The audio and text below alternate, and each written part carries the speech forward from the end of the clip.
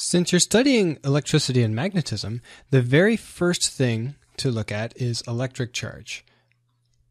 The key ideas are that there are positive and negative charges, and I'm going to try to use the convention that positive will be done in red and negative will be done in blue. And you probably remember from chemistry that there's something called a proton, which has a positive charge, and the amount of charge on a proton happens to be 1.6 times 10 to the negative 19 coulombs. And for a negative charge, to sort of balance out the proton, we have an electron, and that has a charge of negative 1.6 times 10 to the negative 19 coulombs. Now, the SI unit for charge is coulombs. One of the neatest things about charge is that it doesn't get any smaller than an electron or a proton. So the smallest unit of charge is actually called the elementary charge. And that has a value of 1.6 times 10 to the negative 19 coulombs, and it's often written as just a lowercase e. What's neat about this, and the reason why I mention it in the key ideas, is because it brings the idea that charge is quantized, uh, which means that it comes in integer amounts or things that you can count. And then related to that is that we can only have whole electrons and protons. We're not splitting apart electrons and protons. The next big idea is that opposite charges attract and like charges repel. So if I have a positive charge, and we often label charge with the letter Q for a reason I don't know.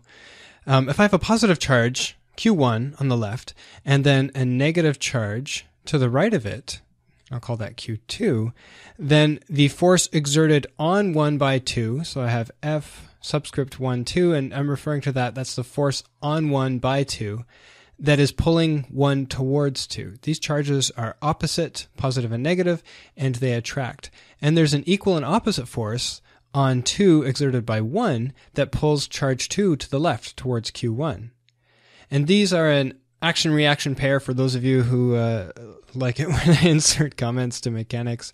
I know a lot of students would love to forget about mechanics, but unfortunately, mechanics comes up a lot in this course, so um, I am going to bring it in now and then. If I mix this up, if I put a negative on the left and a positive on the right, we have the exact same effect. Like charges, on the other hand, repel. So if I have positive Q1 and positive Q2, then they repel. The force on one exerted by two tends to push one away from two. And the force, I need to make that a bit smaller. One of the things about that's important to note about these being an action reaction pair is that these forces are always going to have equal magnitude. It's one pushing against the other. Similarly, if I have two negative charges, Q1 and Q2, then Q1 is going to push Q2 away, so the F on 2 by 1 is to the right, and Q2 is going to push Q1 away. F on 1 by 2. The force in this case is the Coulomb force, and they have the same magnitude. F12 is equal to F21, and the Coulomb force acts between electric charges.